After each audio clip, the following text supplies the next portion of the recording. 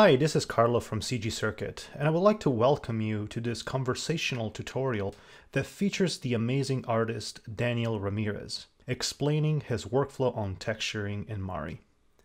Daniel is a fantastic modeler also, and he shows this workflow on one of his models. This conversation will touch on the Mari tools that are necessary to complete the task at hand. It will explain how Mari is different from other packages. It will show the model's UVs in Maya how to take the geometry in Mari, paint the textures using projections, as well as going over layers, channels, adjustment layers, and masks.